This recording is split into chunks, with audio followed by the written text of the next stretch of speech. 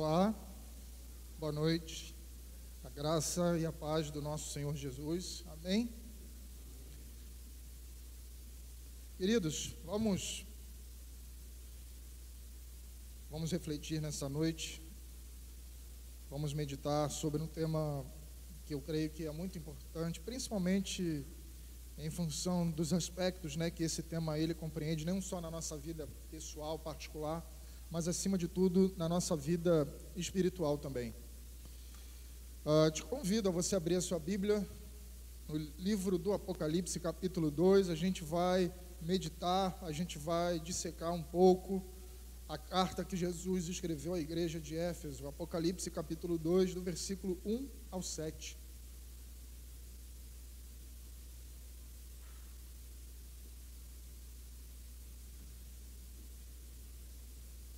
Apocalipse capítulo 2, do versículo 1 ao 7.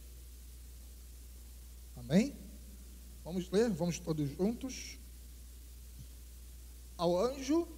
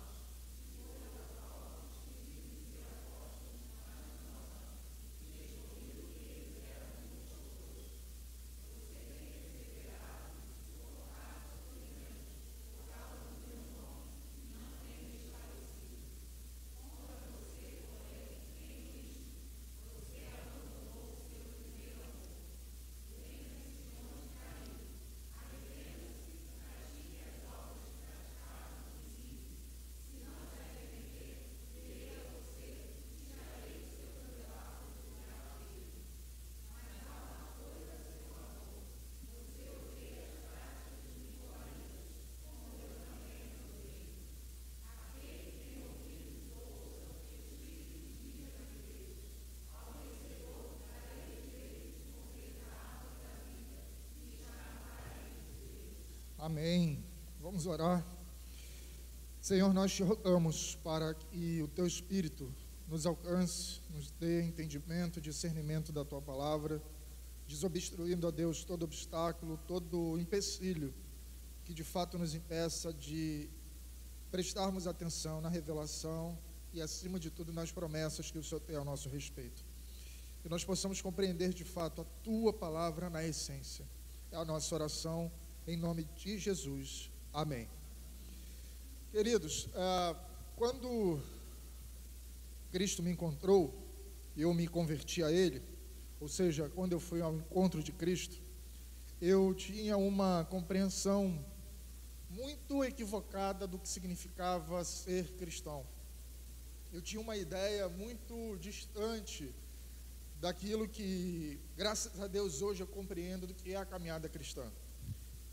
Os meus primeiros passos na igreja, eles foram marcados por uma vontade muito louca de um ativismo desenfreado. Eu queria participar de tudo. Eu queria estar em todas as programações. E isso para mim era o suficiente para eu me relacionar com Deus o fato de eu estar na EBD, o fato de eu estar nas programações missionárias, o fato de eu participar das atividades sociais da igreja, o fato de eu já ministrar e participar como professor de uma classe, o fato de eu estar à frente de um discipulado, o fato de eu estar conduzindo um pequeno grupo, isso para mim, num princípio, era suficiente. Só que com o passar do tempo, eu fui percebendo que o Evangelho, ele não diz a respeito daquilo que a gente faz, mas o Evangelho diz a respeito daquilo que a gente é. E eu demorei um pouquinho de tempo para compreender isso. E quando eu compreendi de fato que o primeiro aspecto do Evangelho é relacional, a minha vida ela deu uma guinada. Eu comecei a entender aspectos, premissas básicas da fé cristã que até então eu não entendia. Não que eu deixei de participar das atividades da igreja, mas elas não eram o um meio para eu me relacionar com Deus. Eu comecei a me relacionar com Deus, de fato, quando eu compreendi que a minha relação com Ele era pessoal. Ela tinha que ser íntima. eu tinha que sentir a presença de Deus, eu tinha que ter convicção da presença de Deus. Ela não podia ser temporal, ela não podia estar ligada a, a, a uma ação, a uma programação, mas ela deveria fazer parte da minha vida o tempo todo, o dia todo. O texto que a gente acabou de ler fala justamente sobre uma igreja que confundiu esses aspectos. A igreja de Éfeso, quando ela foi fundada, ela, ela teve o privilégio de ser pastoreada pelos apóstolos Paulo, pelo apóstolo João, muito provavelmente Timóteo também cuidou de gente ali. E não foi por causa de palavra, não foi por causa de ensino, mas foi por causa de mentalidade que essa igreja passou pelo que passou. Foi por conta da mentalidade equivocada que essa igreja foi repreendida do jeito que ela foi repreendida por Jesus. E são esses aspectos que eu quero trazer à tona, para a gente pensar hoje, refletir, meditar e entender se a gente estiver incorrendo no mesmo erro, o que a gente precisa fazer para virar essa chave? O que a gente precisa fazer para de fato caminhar no Evangelho, mas de maneira não ativista, mas sim relacional? O que, que eu quero dizer com isso, gente? É que naquele grande dia, e isso está destacado principalmente nos Evangelhos, são palavras de Jesus, ele não vai se dirigir a nós em função daquilo que a gente fez, mas daquilo que a gente é. E o fato de eu entender aquilo que eu preciso ser é que vai me condicionar de fato a fazer as coisas, a participar das atividades de maneira correta. Ou seja, a atividade ela não vai ser o meio pelo qual, mas ela vai ser consequência da minha relação com Deus. Vamos entender um pouquinho essa igreja. Eu quero destacar alguns objetivos. Primeiro, eu quero frisar de fato o aspecto relacional, a postura que eu e você devemos ter enquanto cristãos e o nosso real testemunho diante da igreja e fora da igreja.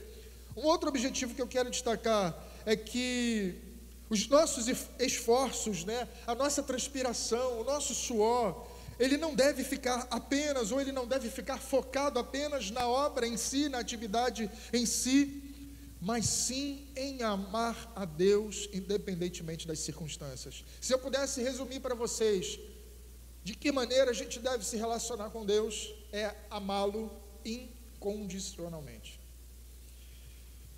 Os três primeiros livros, os três primeiros capítulos, melhor, do livro do Apocalipse, eles revelam as cartas que o Senhor Jesus escreveu às igrejas da Ásia Menor. O nosso destaque, como a gente acabou de ler, ele está concentrado na igreja de Éfeso, que justamente se encontra no capítulo 2, dos versos 1 ao 7 que nós acabamos de ler. Essa carta ela foi mais ou menos escrita há mais de 2.000, 2.300 anos atrás. Mas Jesus, e aí esse é um comum pensamento e um entendimento dos estudiosos, é que essa igreja, ou melhor, que essa carta, ela não parasse no tempo. A ideia de Jesus é que essa carta ela não ficasse restrita apenas a Éfeso, por mais que ela tivesse sido endereçada, mas que o seu ensino, as suas doutrinas também alcançassem as igrejas da Ásia Menor. E aí a gente pode falar de Esmirna, Tiatira, Laodiceia, Pérgamo e etc. Só que essa carta, que foi escrita há mais de 2.300, 2.500 anos atrás, o grande objetivo de Jesus é que ela fizesse parte da minha e da sua vida hoje é que ela alcançasse a plenitude da igreja, ou seja, os tempos atuais. E quando a gente olha para essa carta, eu não sei vocês, mas eu me vejo dentro dessa carta. Eu me vejo vacilando em alguns erros dessa carta. Eu me vejo acertando. Eu me vejo indeciso. Eu me vejo perdendo foco, mas sendo repreendido a converter a minha visão. Em algum momento da minha vida eu me enquadrei, eu me identifiquei com a fala de Jesus, com o raio-x de Jesus sobre essa igreja. Essas cartas, da sua grande maioria, elas foram escritas num formato padrão. Você acha, eu creio que você sabe bem disso. Boa parte delas contém saudação, uma avaliação da parte de Jesus acerca daquela congregação, uma exortação e uma promessa de recompensa aos vencedores. Vitória aqui não era conquistar algo, mas perseverar em Cristo. E o conteúdo de cada uma dessas cartas era e é específico e fala a respeito das necessidades de cada igreja citada. Éfeso, por exemplo, era uma cidade, era a maior cidade, a mais rica, a mais importante da Ásia Menor. Era o centro do culto a Diana, cujo templo jônico era uma das sete maravilhas do mundo antigo. Era uma cidade mística, era uma cidade cheia de superstição e também um dos centros de culto ao imperador. Eram nesses contextos que o Senhor Jesus, o Espírito de Deus, direcionava os seus apóstolos para plantar igreja, gente. Era essa visão de expansão do reino, de, de, de atividade da igreja, de crescimento da igreja, era romper por esses lugares. E não era fácil você ser um cristão, um cidadão de Cristo, um embaixador do reino de Deus numa cidade como essa, assim como não é hoje eu e você sermos no Rio de Janeiro, uma metrópole, uma grande metrópole da nossa nação. É difícil a gente de fato entender e perseverar em função da avalanche de informação que a gente tem, em função das contraculturas que são impostas a gente. Mas o que eu quero destacar com vocês já de início, nesse momento, é que tudo aquilo que a gente precisa saber, como se portar, como reagir, como caminhar, está na palavra de Deus. A gente não precisa recorrer a nenhum outro local. A gente não precisa recorrer a nenhuma outra literatura. Tudo que a gente precisa está na palavra de Deus. Amém? Como eu disse, os cristãos de Éfeso eles foram privilegiados, porque eles foram instruídos por dois grandes homens de Deus, apóstolo Paulo, João, Timóteo também passou por ali. Alguns estudiosos também creem que Priscila e Áquila é, pastorearam essa igreja. E quando Paulo ele se dirige aos Efésios por volta de 62 depois de Cristo, ele mostra a esse povo por meio das suas orações que o seu desejo era que essa igreja crescesse. Pensa comigo, na fé, na sabedoria, na revelação do Pai, da glória, mas principalmente no amor. A preocupação do apóstolo Paulo não era no crescimento numérico, mas era no crescimento individual dos indivíduos. Era no crescimento individual dos cristãos. Ele não estava preocupado com quantidade, mas ele estava preocupado com maturidade. A própria palavra, diz que eu e você devemos crescer no conhecimento da graça e do Senhor Jesus. É esse crescimento que a gente deve buscar. É esse crescimento que a gente deve almejar. Já no livro do Apocalipse, que foi escrito aproximadamente 30 anos depois, traduzindo o intervalo mais ou menos de 33, se é que a gente pode aproximar assim, Jesus que escreveu essa carta e João entregou essa carta à liderança da igreja, esse, essa carta, essa, ela tinha uma preocupação muito grande, que era conceituar amor. Em meio à vida da igreja, em meio à caminhada da igreja, em meio às experiências que a igreja estava passando. Perdão. A preocupação de Jesus era que o povo entendesse o significado do amor. E aí eu perguntei-me, por que desta igreja não ter desenvolvido, vivenciado, preservado o amor que foi plantado, ensinado, enraizado pelos pastores que passaram por lá? Qual foi a dificuldade que essa igreja enfrentou? Quais foram as causas deste amor ter se esfriado? Essa montanha russa, esse sobe e desce, esse elevador, essa temperatura do amor que ainda oscila nos dias de hoje. O que, que aconteceu que essa igreja perdeu a visão, perdeu o foco? perdeu o conceito dessa palavrinha-chave que diz respeito na nossa relação com Deus e na nossa relação enquanto comunidade. É essa resposta que eu, que eu quero, na verdade, construir com vocês nessa noite. Eu quero identificar com vocês juntos quais foram as causas e o que essa igreja deveria ter feito para resgatar, de fato, o primeiro amor. Quando a gente volta para a carta aos Efésios, a gente não precisa lá, a gente vai perceber que nos capítulo, no capítulo 3, versículo 17, 18 19, que o desejo do apóstolo Paulo era que os santos de Efésios, eles ficassem unidos e fortalecidos no amor, comunhão, laço, relacionamento. A preocupação dele era que os enfrentamentos da vida, as perseguições, a própria relação interpessoal entre os irmãos não fosse um obstáculo para que eles se amassem. Ele chega a utilizar o verbo estar no gerúndio, numa postura de regularidade, de constância, de estilo de vida. A gente cresce quando a gente ama. A gente cresce quando a gente ama o próximo. A gente cresce espiritualmente quando a gente ama a Deus acima de todas as coisas. E ele sabia, Paulo, que essa, esse ensino e essa revelação da parte do amor de Deus era muito importante para a vida da igreja. Muitas das vezes a gente tende a pensar que Deus não nos ama, não é verdade? Que em função de estarmos passando por alguma dificuldade, por alguma tribulação, Deus deixou de nos amar. Mas o objetivo de Paulo foi, e o objetivo de Jesus é, que eu e você tenhamos convicção de que Deus nos ama. A gente precisa sair hoje do templo, não o culto, mas a gente precisa sair do templo com a convicção de que Deus nos ama. E Ele nos ama mesmo na dor, Ele nos ama na alegria, Ele nos ama quando a porta aberta é nos liberada, Ele também nos ama quando a gente se encontra com a porta fechada, Ele nos ama quando Ele diz sim para a gente, Ele nos ama quando Ele diz não para a gente, Ele nos ama quando Ele nos abençoa, Ele nos ama quando Ele nos repreende. Deus nos ama em toda e qualquer situação. Mas quando a gente lida com as sortes da vida, o que Deus de fato espera de nós é fidelidade. A fidelidade nada mais é do que uma forma de a gente demonstrar amor a Ele. Eu não vou à igreja, eu não estou com os irmãos por barganha, por interesse, mas o convívio, a comunhão, a coinonia, ela é estimulada pelo amor do Senhor. O aspecto relacional ele precisa fazer parte da nossa vida. E isso vai muito ao encontro do que eu disse no início da nossa reflexão. Muitas das vezes eu pensei que amar a Deus seria a tradução de um ativismo. E eu me enganei profundamente. Porque no final das contas eu queria era barganhar de Deus.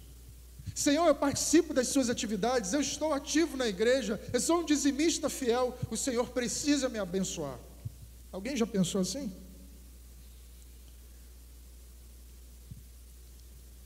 Quando Jesus ele escreve aos Efésios, ele elogia, ele elogia a igreja, ele elogia aquela comunidade pelas suas boas obras, pelo trabalho duro. Ele relata uma igreja ativa, atuante, trabalhadora. Eles testaram os professores para ver se seus ensinamentos eram reais, eles suportaram as dificuldades, eles perseveravam sem cansar mas eles haviam perdido o seu calor, o zelo por Cristo, eles haviam perdido isso, e quando isso aconteceu, eles começaram a passar os movimentos de boas obras, motivadas não pelo amor de Cristo, mas pelas próprias obras. Eu vou tentar traduzir isso. Eles continuaram a trabalhar, mas eles perderam a motivação. Eles continuaram a exercer as atividades que Jesus elogiou, mas o foco era errado. Eles continuaram a mesma programação, a mesma grade, a mesma estrutura, mas não tinha adoração, não tinha fogo, não tinha calor, não tinha relacionamento com Jesus. Era como se eles se, eles se transformassem em profissionais da fé. Era como se eles estivessem ali batendo ponto. E isso fez com que a igreja foi se esfriando, se esfriando, se esfriando, se esfriando pelas suas próprias obras. O que antes era uma relação de amor foi resfriando em mera religião. Sua paixão por ele se tornou pouco mais do que uma ortodoxia fria. O que é isso, pastor Murilo? É você simplesmente ser mecânico na fé. É você cumprir um rito, fazer parte de um ritual, mas sem fogo, sem unção, sem dependência do Espírito Santo, sem intimidade com Deus. E isso mesmo praticando as mesmas obras. Olha que armadilha terrível é isso na minha e na sua vida. Porque muitas das vezes a gente pode se enganar de que o fato de estarmos na igreja é um sinal do nosso relacionamento com Deus. O fato de estarmos prestando um culto é sinal de intimidade com Deus. O fato de estarmos pregando, tocando, sendo educadores, participando das atividades da igreja é um sinal de intensidade. Não é. Até porque a gente, eu creio que por conta de uma tradição equivocada, a gente diz que vai à igreja, mas raramente a gente diz que aos domingos a gente vai prestar culto ao Senhor. Já começa por aí. Porque o culto ele não termina, irmãos. Era isso que estava acontecendo aqui. O culto se resumia a duas horas, duas horas e meia de encontro, contextualizando com o nosso tempo. O culto se resumia aos encontros oficiais. O culto se resumia às programações. Mas o que Jesus estava querendo dizer aqui é que o culto não tinha que terminar. O culto tinha que continuar nas casas, o culto tinha que continuar nos lares, o culto tinha que continuar na rua. Testemunho. Pastor Lúcio falou hoje de manhã sobre isso, sobre a, a, essência do verdadeiro adorador. O verdadeiro adorador, ele é um adorador o tempo todo. Ele é um adorador na fila do banco, no mercado. Ele é um adorador dentro da igreja, sim, mas acima de tudo fora da igreja o seu caminhar, a sua procedência, o seu testemunho, falam, adoram, santificam o nome do Senhor. Essa igreja se perdeu nas obras, ela se tornou uma igreja fria. E eles ainda eram rodeados pelo paganismo, eles ainda eram rodeados pelos falsos mestres. E a igreja de Éfeso ela teria tido uma ampla oportunidade para corrigir essas falhas, essas dificuldades de entendimento para confrontar justamente esse modo frio, gente, porque esse modo frio, ortodoxo, engessado, esse modo sem fogo, sem unção, é coisa do mundo, é coisa do inimigo, é ardil do inimigo, é para que a gente se satisfaça com um pouco. Meus irmãos, Deus tem muito para a gente, mas tem muito para a gente, só que às vezes a gente se contenta com tão pouquinho. A gente busca tão pouco, a gente ora tão pouco, a gente se resume a esse tempo. E esses irmãos nem templo eles tinham. A gente vai falar de templo depois do primeiro século. A gente cai nessa frieza muito pela falta de distanciamento dessa apostasia que a gente tem de Deus. Eu estava conversando com os jovens hoje pela manhã na classe.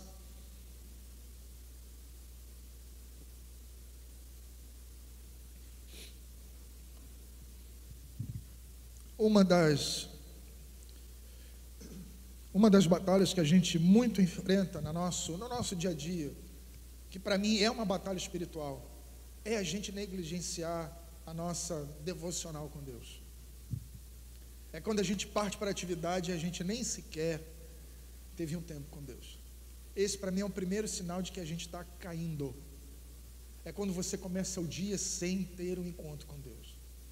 É quando você bate primeiro para bater o cartão lá, ou colocar o dedinho lá na, no ponto do seu trabalho, é você já pensar nas atividades laborais que você tem, é você pensar assim no aspecto profissional corporativo, mas você se esquecer de ter o seu encontro com Deus. Para mim, é, é, é, é a batalha que a gente enfrenta.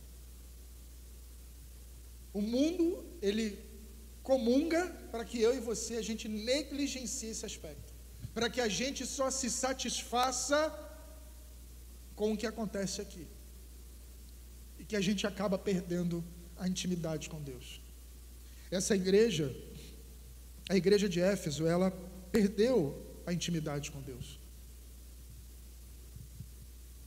ela perdeu a relação. E a gente acaba perdendo isso quando a gente não abre a Bíblia, quando a gente não lê a Bíblia, quando a gente não ora a Bíblia, quando a gente não vive a Bíblia. Conversando com eles hoje de manhã, eu frisei esse aspecto. De fato, a gente vive num tempo muito corrido, muito tribulado. Mas se Deus ele é prioridade na minha e na sua vida, a gente tem que começar o dia com Ele. A gente tem que começar o dia com Deus. Um dos objetivos de Paulo, também a igreja de Éfeso, era que essa igreja compreendesse o amor de Deus através de uma experiência particular intimidade. Você só vai saber daquilo que Deus ama se relacionando com Ele. Você só vai saber daquilo que desagrada a Deus se relacionando com Ele. A gente hoje vive, uma boa parte de, de, de alguns crentes, eles vivem uma espécie de terceirização da fé. Eles dão amém, amém, amém, amém por coisas que eles não experimentaram. Coisas que deveriam ter experimentado. Aspectos, vivências, novidades na sua vida que eles deveriam ter experimentados. Mas eles dizem amém sem saber o porquê. A gente precisa de experiências particulares com Deus. A verdade é que Deus nos ama e que deu a sua vida e que nos deu vida, perdão, em situações que experimentamos, cria um aspecto durável em nós que o inimigo não pode roubar ou destruir facilmente. Aquilo que Deus e, e, e, a gente experimentou nele, com ele, por ele, para ele, o inimigo não pode roubar. Aquilo que é fruto da nossa relação com Deus, o inimigo não vai roubar. O ponto é que a gente estagnou. A gente parou num tempo, a gente parou numa comunidade, está bom do jeito que está, pastor Murilo. Irmãos, é, essa semana, se a gente pudesse relatar três grandes episódios que a gente acompanhou no mundo, foram episódios catastróficos. Essa semana e nas semanas passadas. O terremoto em Marrocos, ah, uma represa na Líbia que estourou e dissolveu cidades e bairros. E eu nem preciso falar das chuvas que acometem o sul do nosso estado. Tanta desgraça, tanta coisa ruim. E se a gente vira a página para o aspecto humano, pessoal, os crimes hoje, daquilo que a gente chamava bárbaro há 20, 30 anos, hoje eles são recorrentes. Coisa está indo para um rumo hoje desenfreado. E a gente precisa estar preparado para isso. A gente precisa estar íntimo de Deus. A gente precisa estar firmado nele, amparado pela Sua palavra, para a gente não vacilar, não tropeçar. O tempo está feio. Mas isso não é motivo para eu e você perdermos a esperança, nem para a gente virar a nossa face, nem para a gente desanimar. Pelo contrário, é motivo de eu e você preservarmos a nossa esperança nele, porque ele nos ama. Mas o nosso amor por ele precisa ser traduzido da além desse tempo, da além desse espaço, alcançar a nossa vida como um todo.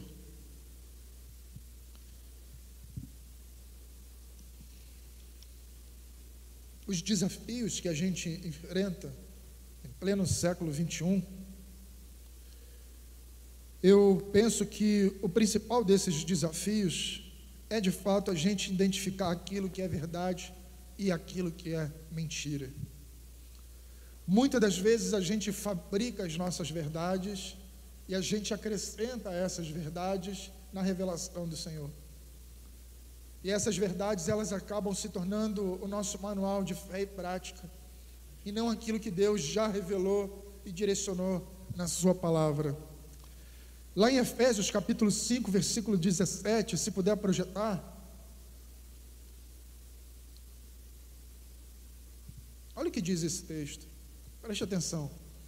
Portanto, não sejam insensatos, mas procurem compreender qual é a vontade de Deus.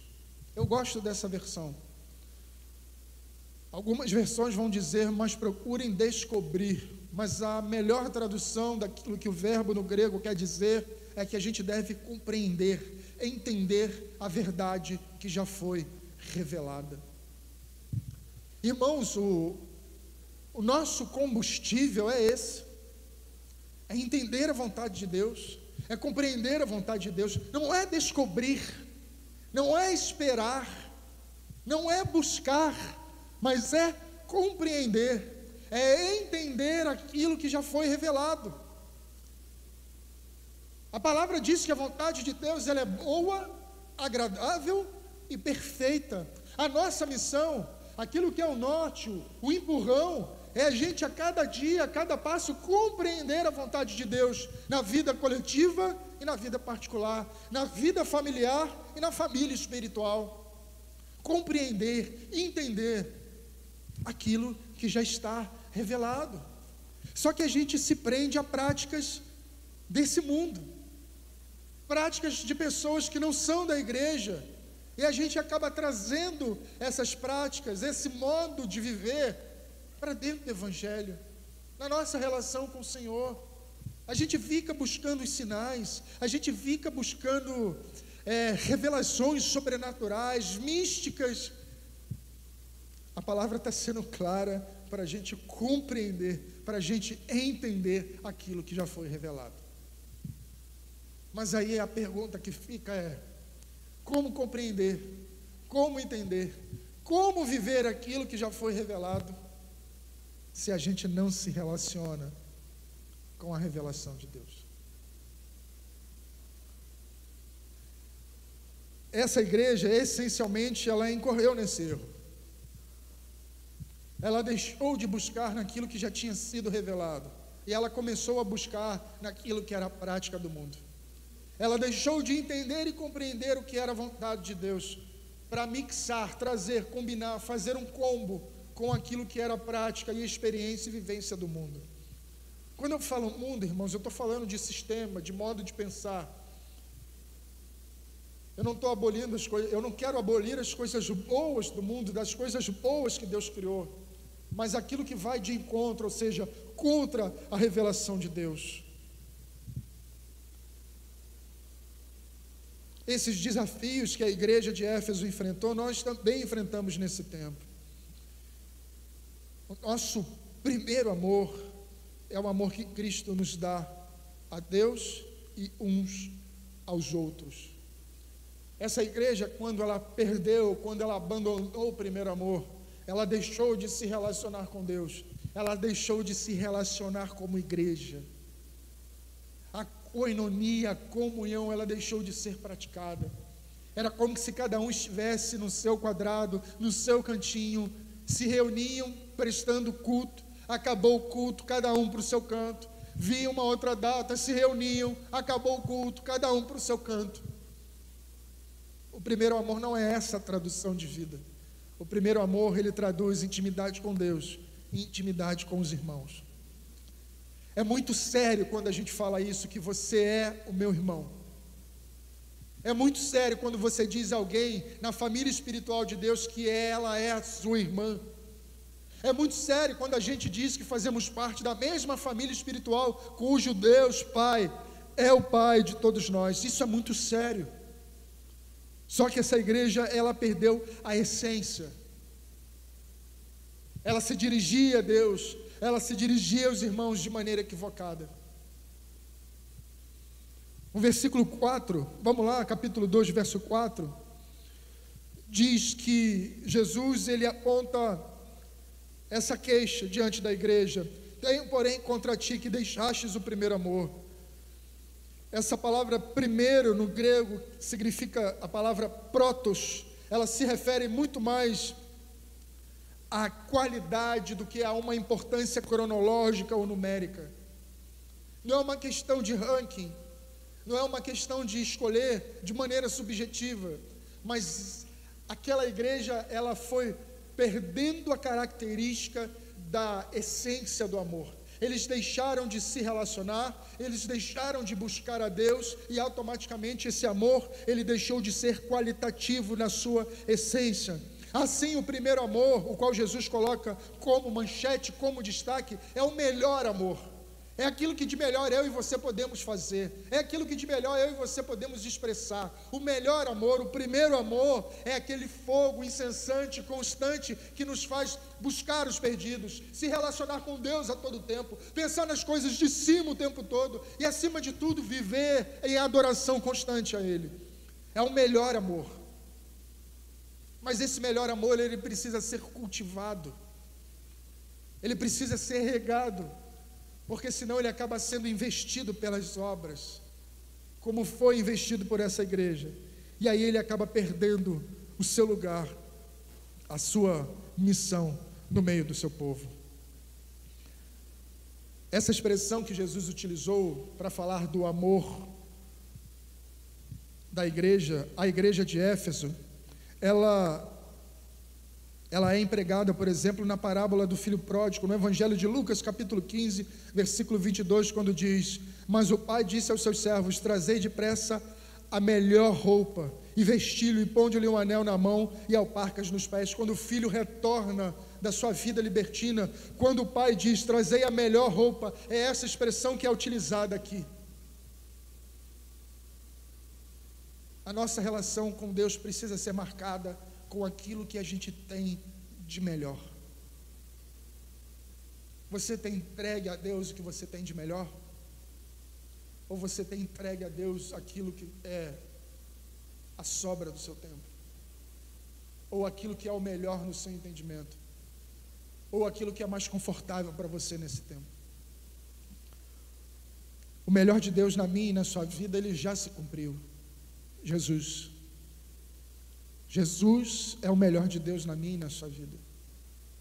E Deus deu o seu melhor. Ele entregou o seu filho.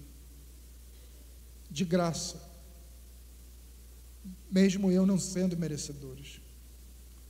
Ainda assim, a palavra de Deus diz que ele nos amou primeiro, quando nós éramos pecadores.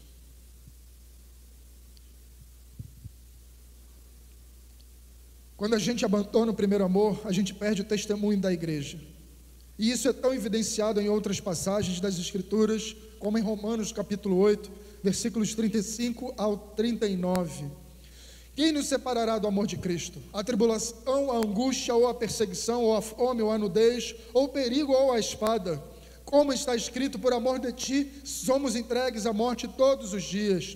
Somos reputados como ovelhas para o matadouro, mas em todas essas coisas somos mais do que vencedores por aquele que nos amou, porque estou certo de que nem a morte, nem a vida, nem os anjos, nem os principados e potestades, nem o presente, nem o porvir, nem a altura, nem a profundidade, nem alguma outra criatura nos poderá separar do amor de Deus que está em Cristo Jesus, nosso Senhor. O melhor de Deus. Jesus é o melhor de Deus para minha e para sua vida. A mesma palavra protos é utilizada em Lucas capítulo 10, versículos 41 e 42, quando Jesus responde a Marta dizendo: Marta, Marta, estás ansiosa e afadigada com muitas coisas, mas uma só é necessária. E Maria escolheu a melhor parte, a qual não lhe será tirada. O ponto é que a gente está se contentando não com a melhor parte. Quando eu comecei a entender esse aspecto, irmãos, eu fui percebendo, graças a Deus, que o problema não era Deus, o problema era eu. Eu estava me contentando com muito pouco. E o que Deus quer para nós é o melhor. E sabe qual é a boa notícia? É que só depende de mim e de você. Não depende de mais ninguém. Só depende de mim e de você querer o melhor de Deus. Só depende de mim e de você experimentar o melhor de Deus. Só depende de mim e de você viver o melhor de Deus. Só depende de nós, irmãos, nem o inimigo, principado, potestade pode impedir eu e você de experimentarmos o melhor de Deus. Só depende da gente. A oportunidade de desfrutar da presença do Salvador tinha chegado, por exemplo, à casa de Marta e Maria, servas de Jesus, no momento de dificuldade. Quem escolheria largar seus afazeres de desfrutar a melhor parte? Às vezes essa decisão ela chega em momentos assim. Em momentos onde a gente tem que escolher, tomar uma decisão. E essa decisão, por exemplo, no meu caso, vai impactar minha casa, vai impactar minha esposa, vai impactar os meus filhos. Mas o que eu quero salientar mais uma vez é que nada impede a gente de tomar a decisão certa, nada impede a gente de viver o melhor de Deus.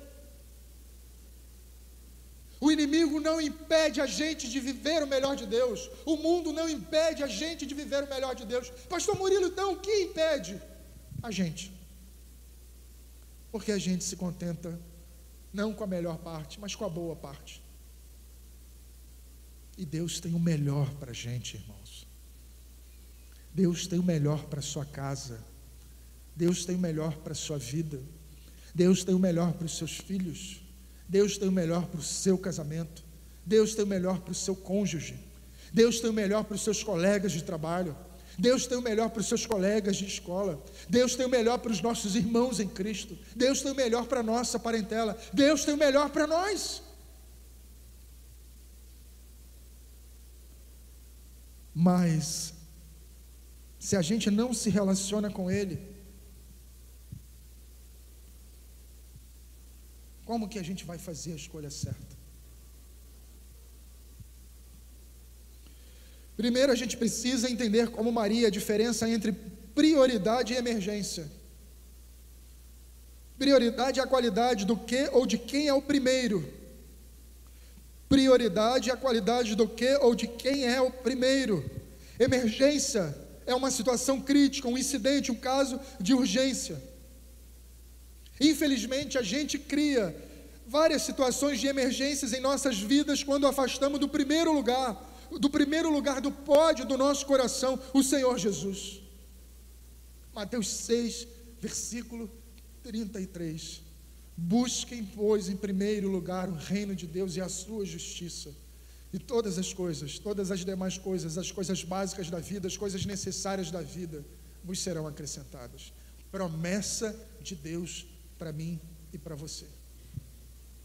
Busquem, pois, o reino de Deus e a sua justiça. Sabe o que significa justiça aqui nesse versículo? Modo de vida.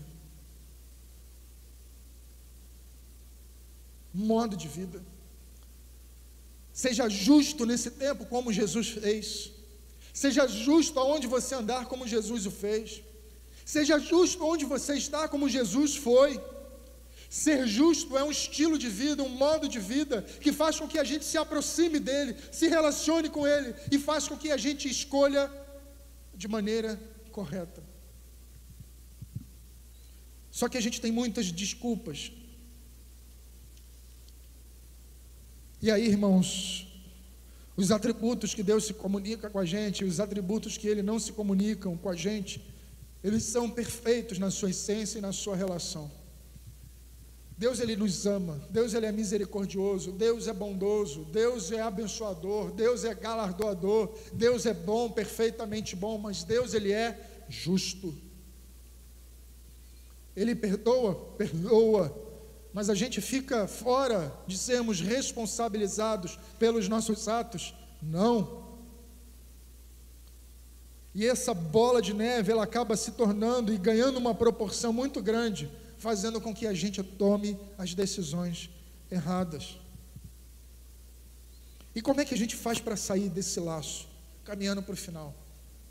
Como é que a gente muda essa fotografia, esse raio-x de uma igreja que começou tão bem, uma igreja que foi pastoreada com, por homens de Deus, uma igreja que teve doutrina, uma igreja que tinha ensino, uma igreja que tinha ortopraxia, uma igreja que colocava a palavra em prática, mas que num determinado momento ela perdeu a visão. E eu quero chamar a sua atenção para isso hoje, porque é num piscar de olhos que as coisas acontecem. E aí, quando a gente vai ver, assim como essa igreja se apostatou, ou seja, ela se distanciou de Deus, a gente também o faz e a gente pode estar vivendo isso de uma maneira que ainda não está clara para muita gente. Como então converter ao caminho correto?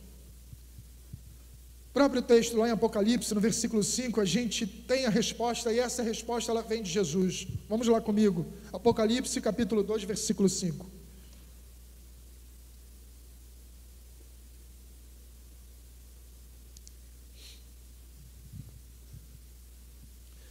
Lembra-se de onde caiu, arrependa-se e pratique as obras que praticava no princípio. Não se, não se arrepender, irei a você e tirarei o seu candelabro do lugar dele. Tem três verbos nessa passagem, três atitudes, três ações para que a chama do melhor amor fique acesa por todo o tempo nas nossas vidas. Lembra-te, pois, de onde caíste a intenção de Jesus aqui não é para que o nosso passado de vida pecaminosa venha à tona, ou para que o erro venha à tona, ou para que o nosso vacilo fique constante, latente na nossa mente, mas sim que eu e você lembremos que Ele foi o único que estendeu a mão, o único que nos perdoou. Ele, Ele, o nosso Senhor, o nosso Deus, foi Ele que tirou eu e você do lamaçal do pecado. É para a gente se lembrar disso. Isso precisa ficar muito claro para você. Quem estendeu a mão primeiro foi Ele do jeitinho que você era, Ele estendeu a mão para você. Aleluia por isso. Glória a Deus por isso.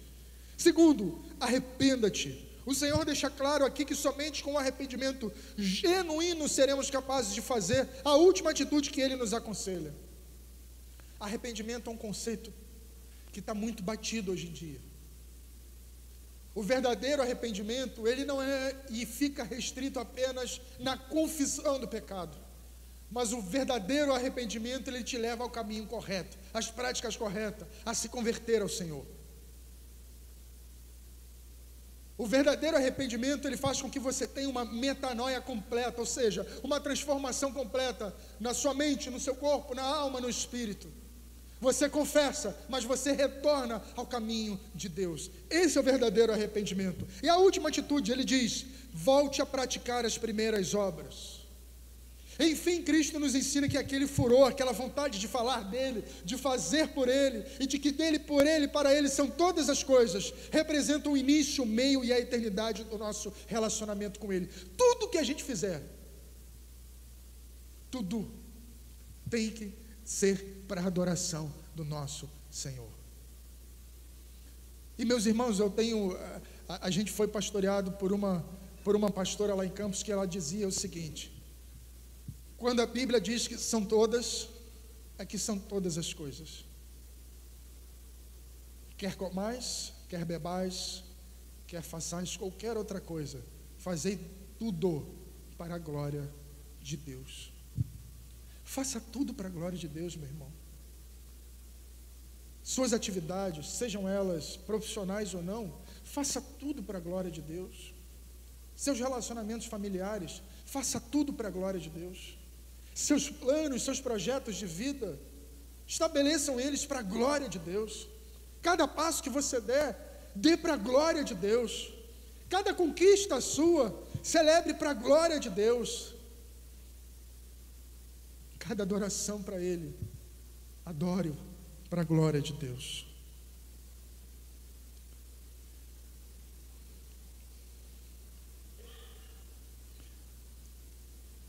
Provavelmente você conhece, ou talvez você esteja passando por um momento de esfriamento, de enfermidade na fé. E a gente aprendeu hoje que o amor de Cristo, ele supera nosso amor a Cristo. Graças a Deus por isso, porque nosso amor a Cristo é frágil, mas o seu amor é poderoso. E enquanto o nosso amor a Cristo fica em atrito com o nosso amor ao mundo, o amor de Cristo não poupou a si mesmo e se entregou completamente por nós. Paulo ele contrasta coisas do mundo com a insondável realidade do amor de Cristo, que decidiu dedicar a nós. A escolha é nossa. A escolha é nossa. Ficar com os olhos fixos no Cristo que nos ama ou desviar nossa atenção para as coisas do mundo que odeia a Cristo. Em Cristo, nada nos separa. Deus tem o melhor para a sua vida e eu quero entregar essa palavra a você, não como um clichê e um jargão, mas, mas como uma promessa de Deus para a sua vida. Deus tem o melhor para a sua vida. Deus tem o melhor para a sua casa. Deus tem o melhor para o seu filho. Deus tem o melhor para o seu cônjuge. Deus tem o melhor para a sua vizinhança. Deus tem o melhor para essa igreja. Mas a gente precisa tomar a atitude. E são essas atitudes que eu quero destacar aqui para a gente fechar a nossa reflexão. Primeiro, não se contente com um pouco, queira mais de Deus. Certa feita eu ouvi uma analogia que ela traduz muito bem esse aspecto que eu quero contrastar aqui. Alguém uma vez disse para mim num retiro, falou assim, Pastor Murilo, quando a gente está com sede, o que, que a gente faz?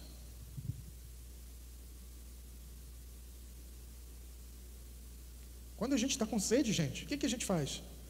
Bebe água. Quando a gente está com fome? Quando a gente está com frio? Quando a gente está cansado? E por que, que a gente se contenta com tão pouco de Deus? É porque a fome e a sede que deveriam ser latentes, elas não são nas nossas vidas. Eu quero que você entenda que o melhor de Deus ele deve ser buscado, conquistado, possuído, tomado na posse, na luta, na garra, mas acima de tudo, sempre privilegiando a sua relação com Ele. Eu quero que você saia daqui hoje, no bom sentido dessa expressão, em crise no seguinte sentido: de que quando você vai chegar em casa, quando você chegar a casa, você vai ter um encontro com Deus. E você vai falar para Ele o seguinte: Pai, eu desejo ter mais fome da Tua palavra. Eu desejo ter mais sede da Tua palavra. Eu quero viver o melhor que o Senhor tem para a minha vida. E o melhor que, você, que o Senhor tem para a minha vida é Jesus. Eu quero ser íntimo de Jesus. Eu quero ser próximo de Jesus. Eu quero caminhar com Jesus. Eu quero viver esse amor, não o amor que eu fabrico, mas o amor de Cristo em mim. Eu quero que você saia daqui com essa decisão hoje.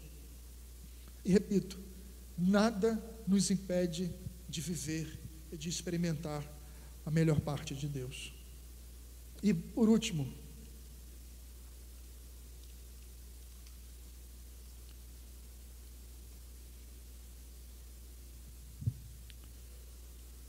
saiba quem você é em Cristo. Saiba quem você é. Tenha, tenha isso muito claro. Tenha isso muito em mãos, que não fique dúvida nenhuma quem você é em Cristo Jesus. Que não fique dúvida alguma o que Cristo representa para você. Que não fique dúvida alguma acerca do amor de Deus para a sua vida. Que não fique dúvida alguma que o melhor de Deus já foi liberado, que o melhor de Deus já foi entregue, que o melhor de Deus, Deus já te deu. E isso faz com que você tenha um entendimento de fato de quem você é. Você é filho, você é filha do Deus Altíssimo. Não se contente com pouco, não se contente com a mediocridade, não se contente com o raso, queira mais de Deus, busque ao Senhor, renove a sua fé, avive a sua fé, busque ao Senhor em oração mas não corra no erro de traduzir isso nas ações, mas traduza isso no seu relacionamento com Ele. Amém? Eu quero orar por você. Quero interceder pela sua vida, pela sua casa.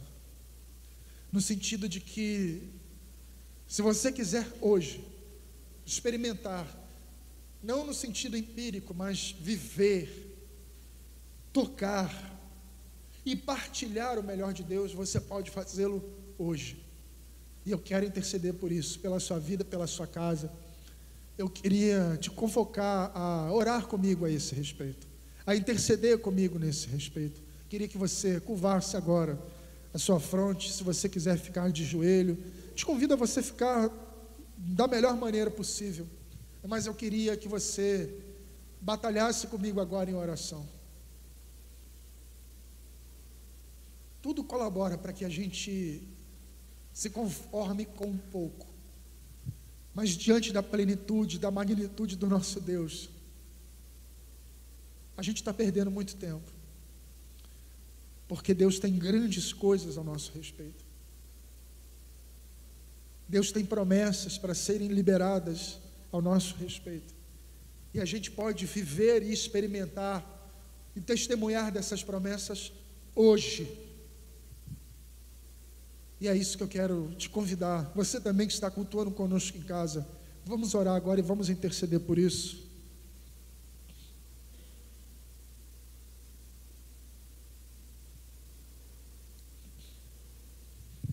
Senhor, obrigado, Pai, por abrir os nossos olhos. Obrigado, Deus, porque a tua palavra hoje ela chamou a nossa atenção para um aspecto essencial para a nossa perseverança, para a nossa caminhada, que é viver o melhor que o Senhor tem para nós. Que teu Espírito, ó Deus, possa nos incomodar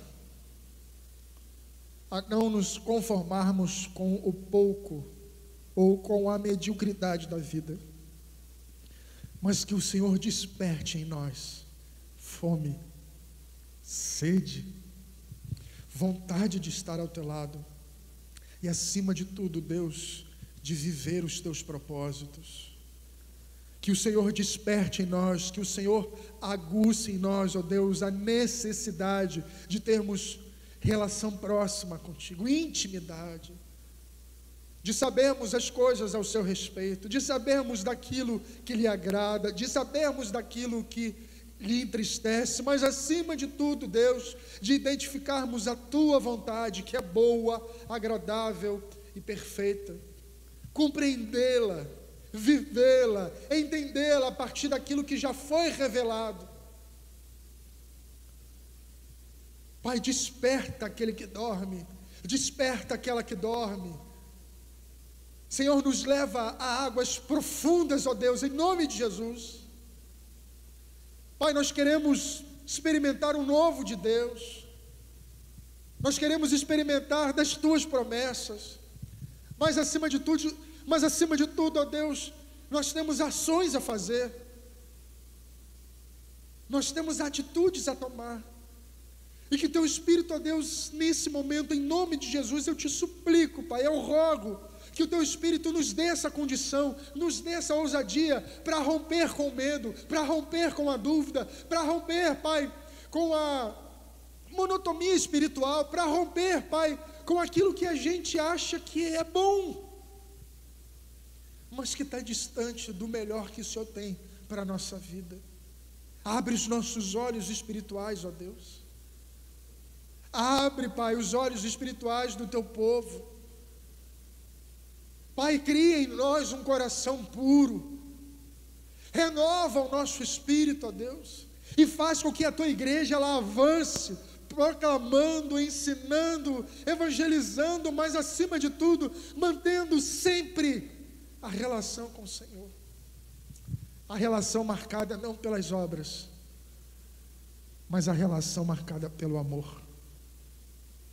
Primeiro, o amor ao Senhor. Segundo, amor ao próximo. Elimina esse medo, Pai. Traz segurança ao teu povo. Que a gente possa, de fato, experimentar um avivamento no meio do teu povo. Arrependimentos genuínos, conversões, transformações, famílias sendo restituídas, casamentos sendo salvos, famílias sendo, ó Deus, geradas e e, e, acima de tudo, ó Deus, fortalecidas, jovens crescendo na Sua presença, jovens querendo mais do Senhor, jovens despertando para uma novidade de vida. Toca na nossa juventude, ó Deus, em nome de Jesus. Aviva, Pai, o teu povo. E que a gente, num futuro muito breve, a gente possa testemunhar do amor do Senhor a nosso respeito. Alcança, Pai, cada casa aqui representada. E que no lugar da frieza venha o agir do fogo do teu espírito. Venha o agir, a unção do Senhor. E que a gente seja dependente de Ti em toda e em qualquer situação. Em nome de Jesus nós oramos. Amém. E graças a Deus. Queridos, vou chamar o pastor Estevam para terminar, mas eu queria que você saísse com essa convicção hoje daqui. Nada pode impedir de você experimentar o melhor de Deus. Amém? Pastor?